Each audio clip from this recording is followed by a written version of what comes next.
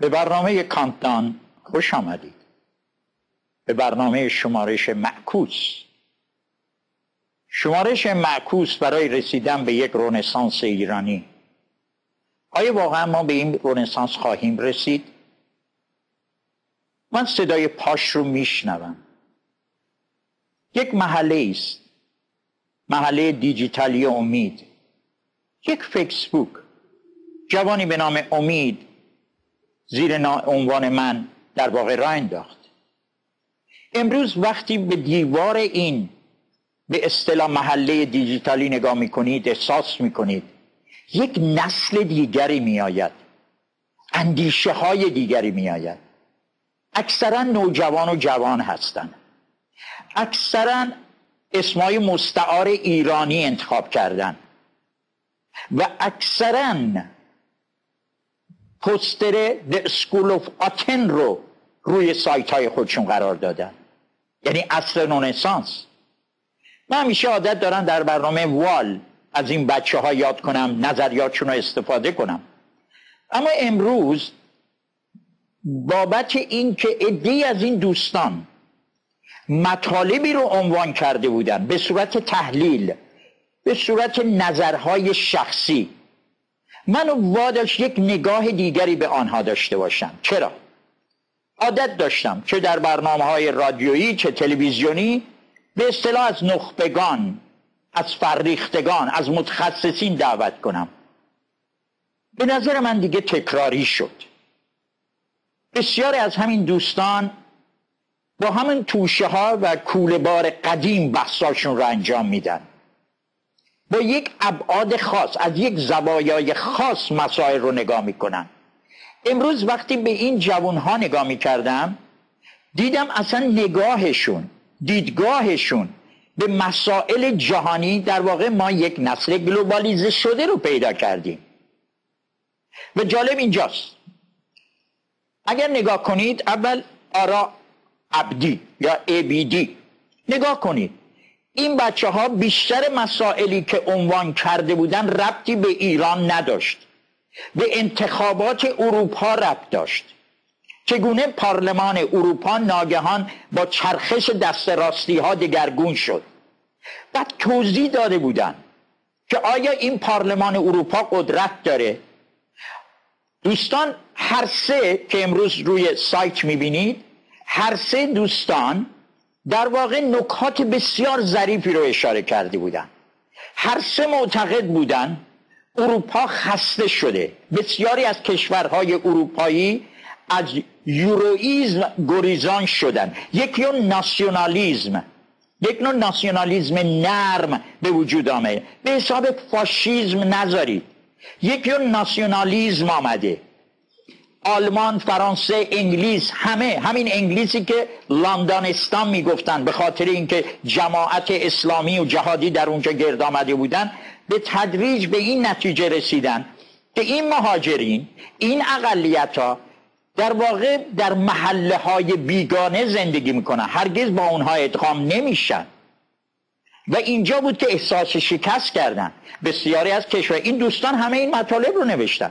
نوشتن اتحادیه اروپا نقشش این خواهد بود که در مقابل آمریکا بیسته. نقشش این خواهد بود که به اسرائیل فشار بیاره و فلسطین رو به رسمیت بشناسه. حتی بسیاری از اونها معتقد بودن مالیات پدر این ملت ها رو در آورده. حالا چرا من معتقدم این بچه ها بچه های نسل گلوبالیزه شده هستند بسیاری از این متخصصین و فریختگان که دوستان نزدیک من هم هستن در همین کشورهای اروپایی زندگی می‌کنن. اما با یک تفاوت. اونها در واقع در آن سوی پیاده رو ایستادن. با بینش ها و در واقع تجربیات یا سواد ها هر چی مسئلهش رو می‌خواهید بذارید. بینش های خاص خودشون. این بچه ها در اونجا رشد پیدا کردن. در واقع تمام دی گلوبالیزه شدن رو در خودشون دارن و پرورش پیدا می‌کنن. نظریات اینها با نظریات دو نسل پیشین بسیار متفاوته. وقتی شما اینها رو می‌خونید احساس می‌کنید ما یک نسل تازه پیدا کردیم. نسلی که فردا حتما در مسائل خاورمیانه هم می‌تونه نظریات خاص خودشو داشته باشه. من معتقدم صدای پای رونسانس ایرانی میآید. نگاه کنید خود شما هم سایت دارید. خود شما هم به برنامه ها توجه می‌کنید. نگاه کنید این نسل نسل خاصی است. نسلی است که یک روز برای شما شگفتی خواهد آفرید. اما اجازه بدید قبل از اینکه نسل ما شگفتی بیافرینه بریم ببینیم بیاند نیوز در دنیا چه خبره چه اتفاقاتی افتاد.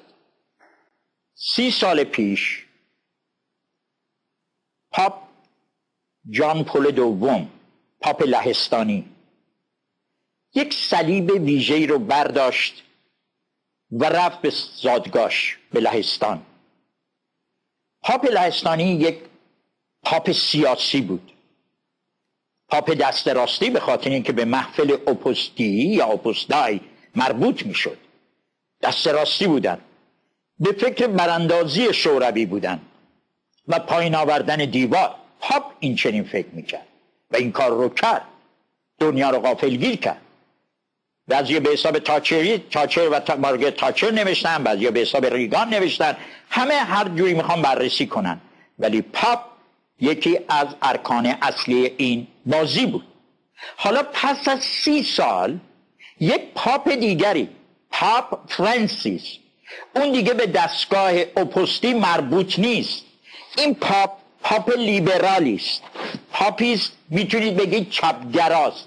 پاپیست که به سوسیالیزم مذهبی فکر می‌کنه. این پاپ ناگهان تصمیم گرفت بره به اورشلیم بره به سرزمین های به اصطلاح فلسطینی و در واقع یک چوری بزنه در مثلث اردن اسرائیل و فلسطین. و حتی بسیاری رو قافل گیر کرد که ناگهان پای دیواری ایستاد که اسرائیل رو از فلسطین جدا می‌کنه. حرفای بسیاری در این زمینه زده شد. همه گفتن نقش پاپ فرانسیس چیست؟ این سفر به چه منظوری صورت گرفته؟ چرا پاپ فرانسیس ناگهان تصمیم گرفت برود؟ درست زمانی که. حتی جان کری وزیر امور خارجه آمریکا مذاکرات بین فلسطینی ها و اسرائیلی ها را رها کرده چرا این پاپ رفت؟ اول نکاتی رو من اشاره کنم که شما بیشتر دریابید. اولا به یاد داشته باشید پاپ جان پول دوم بود که اولین سفر رو کرد به اسرائیل. چرا؟ بعد از جلسه واتیکان دوم بود. جلسه واتیکان دوم 1965 67 در مدلین, مدلین کلمبیا صورت گرفت. در اون جلسات همونجوری که بارها من در برنامه هم اشاره کردم تز الهیات رهایی بخش اومد. و یکی از مرامنامه هایی که نوشته شد این بود که کلیسای کاتولیک باید با جامعه یهودیان در واقع از در آشتی بیاید. و این مسئله که یهودیان موجب کشته شدن مسیح شدن رو به فراموشی بسپاره. بنابراین بعد دیدین که پاپ بنتیکت دوم آمد حالا پاپ فرانسیس آمد. اما یک نکته رو فراموش نکنید. اگر پاپ فرانسیس از فلسطین صحبت می‌کنه فلسطین آزاد سرزمین فلسطین که حتما در گزارشام دوباره خواهیم شنید یک نکته رو شما فراموش نکنید. اونهایی که با بازی های سیاسی از نزدیک آشنایی دارن و پیگیری می‌کنن یعنی لابلای خطوط رو می‌خونن. بازی های جهانی رو آشنایی دارن. بذارید یک نکته رو اشاره کنم. تمام بحث واتیکان در رابطه با ایجاد سرزمین فلسطین. فقط دفاع از حق مردم فلسطین نیست. این اشتباه رو نکنید. بلکه کلیسای واتیکان معتقده که بخشی از اورشلیم بایستی بین المللی بشه و در اختیار کلیسای واتیکان قرار بگیره. یکی از به اصطلاح بحثای پشت پرده که بارها صورت گرفته و در این میان بسیاری از اسرائیلیا معتقدن که آقای شمون پرز اولین کسی بود که این تز رو پذیرو آقای شمون پرز حتی یک بار گفت بیایید اعلام کنیم اورشلیم پایتخت دنیا. اورشلیم رو بین المللی کنیم که بسیاری ازش رنجیده خاطر شدن. فراموش نکنیم مسئله اورشلیم بسیار اهمیت استراتژیکی داره. کلیسای واتیکان معتقد بخشی از اون رو باید بین المللی کرد. فلسطینی ها معتقدن بخشی از اون پایتخت خود فلسطین خواهد بود. اسرائیلیا معتقدن مخصوصا گروه نتانیاهو که وحدت اورشلیم یعنی اسرائیل تمامیت ارزی اسرائیل. پس بنابراین می‌بینید بسیارم ساده نیست چون پاپ فرانسیس تصمیم گرفت و برود و بگوید شما باید با هم وارد مذاکره بشید و ما به یک صلح عادلانه برسیم کارها تموم شد. نه چنین چیزی وجود نداره. هرچند هرچند این پاپ قدرتمندتر از حتی پاپ پل دوم هست. جان پل دوم هست. چرا؟ به خاطر اینکه ایشون جزویت هستند عضو بزرگترین به اصطلاح سپاه خداییان هستند.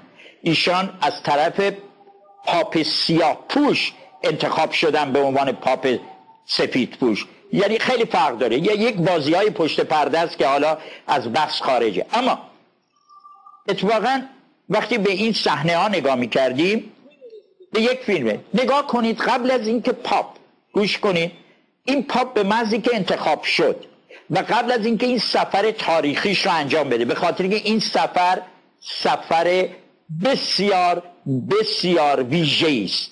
ساده انگاری نکنید. حالا خواهید دید چه بازی های پشتش خواهد ولی این پاپ قبل از اینکه به این سفر تم بده تمامی سران دنیا از ملکه الیزابت و همسرش از پوتین تا اوباما به دیدارش رفتن. بسیاری معتقدن پاپ فرانسیس مرد اول دنیاست. قدرتمندترین مرد دنیاست. اونهایی که در واقع معتقدن جزویت ها دنیا رو اداره می‌کنن. این یک نظریه است. می‌تونید بچه های جوان مقصد می‌تونن برن مطالعه کنن خواهندی. اما اتفاقا قبل از اینکه استودیو بیام یک مطلبی رو دیدم. دنبال همین مسائل. اتفاقا یک روزنامه کلیسای کاتولیک جورنال of the Catholic Reporter یک, یک خبری رو نوشته بود. نوشته بود وقتی آقای اوباما تصمیم گرفت به سوریه حمله کنه رهبر جزویت های واتیکان پاولو نیکولاس. ادولفو پاولو نیکولاس در واقع رفت یک مصاحبه کرد و گفت درست نیست از حمله نظامی استفاده می کنید